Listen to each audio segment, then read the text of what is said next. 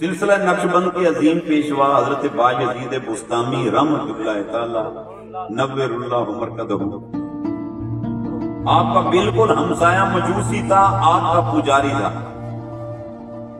अच्छा आप उसको अक्सर दावत देते थे कि तू कलमा पढ़ के दाखिल इस्लाम हो जा। अच्छा वो बात नहीं मानता था। एक अरसा दावत देते रहे।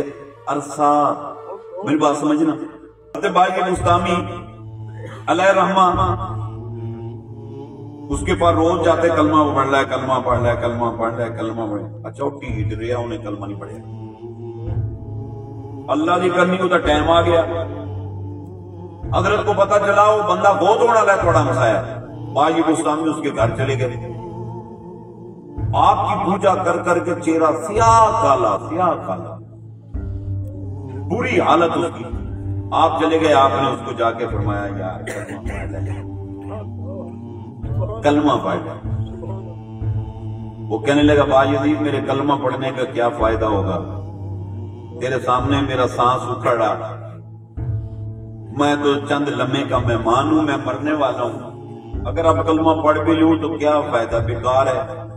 मैं बड़ा फ़ायदा ही है। भाई, उसको तो नहीं पता, बायुजीत को तो पता था ना। ये तो खास है ना। इसको तो पता है, कल में एक में क्या है? चंगा रहेगा। मैं नहीं पढ़ता कलमा। इतने अरसे से तू कहता रहा, मैंने तेरी नहीं मानी। और अब अगर मैं कलमा पढ़ भी लू तो बेकार है। ना मैंने दीन सीखना ना सीखने का टाइम ना नमाज़ पढ़नी, ना कुछ और काम, कुछ भी नहीं होना। मेरा तो टाइम पूरा हुआ पड़ा है तो मैं छोड़ तो क्यों ऐसे काम का मेरे पीछे पड़ गया? उसने का कोई फ़ायदा होगा? और मैं, बड़ा फ़ायदा क्या होगा? आप फरमाया तुझे क्या पता? बड़ा करीम है, तेरे सारे गुनाह माफ़ कर दे।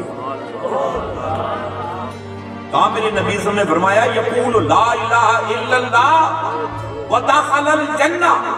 कि जिसने कह दिया, ला इलाहा इल्लल्लाह, वो दाखिल जन्नत हो गया। फरमाया, खुदा की कसम, दुनिया इधर की उधर हो सकती है, मेरे नबी के फरमान में तब्दीली नहीं मुझे पक्का यकीन है तेरी बख्शिश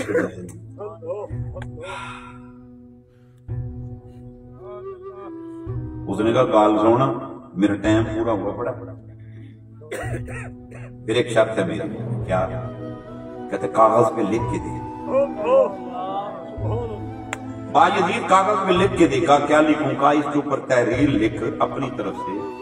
कि मैं बाजीद गुस्तामी ये तहरीर लिखता हूँ कि इसको मैंने कलमे की दावत दी, इसने कलमा पढ़ा, इसके कलमे का गवाह मैं खुद हूँ। और इसकी बख्शिश हो जाए और इसकी कब्र में जब जाए, सवाल और जवाब इससे ना किए जाए मन रखो का, मादीनों का। तो सवाल और जवाब में इसके लिए खसूसी पैकेज दिया जाए। जब ये हशर में जाए, वहाँ मिजान तोले जाए, क्योंकि इसने सिर्फ़ कलमा पड़ा मिजान में जाए तो इसको खसूसी पैकेज दिया जाए और लिख के दिया कि इसको दाखिले जन्नत कर दिया जाए। तो आप लेके दो, मैं कलमा पढ़ता हूँ।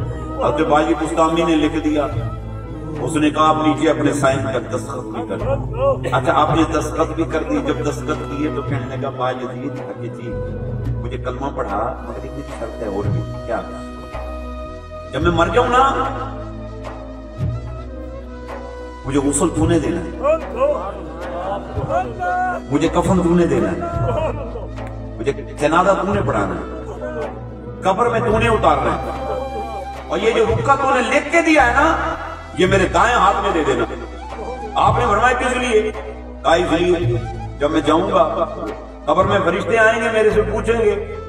मैं रुका लिख के दिखाऊँगा हुआ दिखाऊँगा। मैंने कहा, चले जाओ, मेरी कबर से चले जाओ। बाजी गुस्तामी ने मुझे लिख के दिया है कि तू जंदी है। अशर में जाऊँगा, पूछा जाएगा, तेरा रुका दिखा दूँगा। तो मुझे ये मेरी शर्त हमें मंजूर है। पढ़ा कलमा कलमा पढ़ा दिया। कलमा पढ़ा वो बंदा फोत हो गया। कलमा पढ़ के फोत हो गया। उसे पढ़ा, ला इला मोहम्मद रसूलुल्लाह, पढ़ा, फोत हो गया। फोत हुआ, और बाजी मुस्तामी ने वादे के मुताबिक उसको खुद गुस्ल दिया। उसे कफन दिया। उसका जनाजा पड़ा। और फिर हज़रत ने उसको अपने हाथों से लहद में उतार दिया। और कब्र से निकलने से पहले वो रुक्का जो आपने लिखा था उसके दाएँ हाथ में देकर मट्टी डाल के आ रात हुई बाजी मुस्तामी सो गए ख्वाब में देखा, एक इंतहाई खूबसूरत चेहरे वाला बंदा बाबा वो ख्वाब में मिला। आपने फरमाया, कौन है तू? उसने कहा, भाई यदीद इतनी जल्दी भूल गए हो। कहा मैं समझा नहीं। तो मैं वो तेरा हमसाया ही तो हूँ। कहा फलां नाम का नाम याद था? ओ हाँ। कहा वो तो सिया काला था। आज कहने लगे, वो तो सिया काला था। कहने लगा, मैं काला ही था। मगर बाजीद वो जो तूने मुझे कलमा पढ़ाया ना, उस कलमे की बरकत ने रब ने मेरा ज़ाहिर भी बदल दिया बातिन भी बदल दिया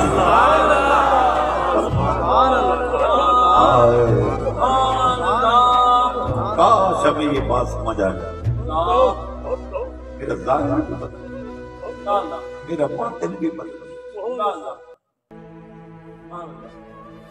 आपने फरमाया, सुना, कब्र में तेरे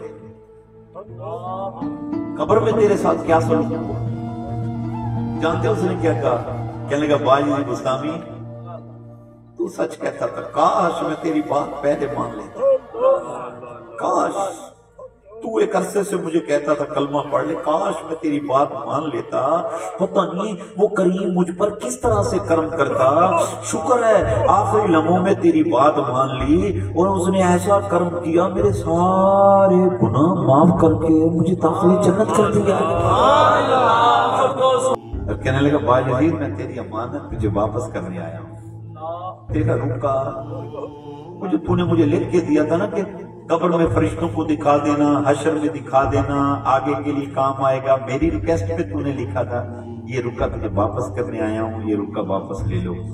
आपने फरमाया, किस लिए? तू तो कहता था, ये रुका रख देना, ताकि हर मंजिल पे जहाँ रुकावट होगी मैं उनको दिखा दूँगा, मेरी बख्शिश हो जाएगी। कहने का भाई यजीद अल्लाह की इज़्ज़त की कसम अब इसकी ज़रूरत नहीं है। कहा, वो कैसे?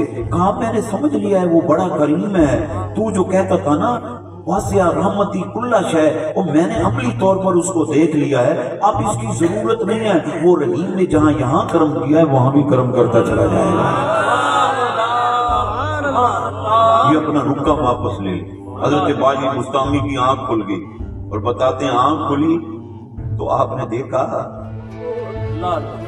वही रुका पास पड़ा हुआ था, जो कबर में रख कर आए थे। आप जो ज़िंदगी में एक बार ला इलाहा इल्लल्लाह मोहम्मद रसूलुल्लाह पढ़ ले, उसकी रूहानी शक्ति, रूहानी पावर उसके अंदर इतनी वाक़ हो जाए कि कब्र के हालात बार वाले को आकर बताए और कब्र की चीज़ बाहर ला के रख दे।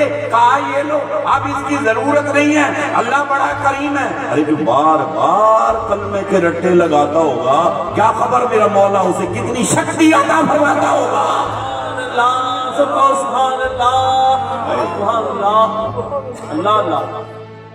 ये तो मेरे नबी का एक गुलाम जो दामन रसूल से वाबस्ता हुआ उसने एक बार कहा ला या इल्लल्लाह मोहम्मद रसूलुल्लाह।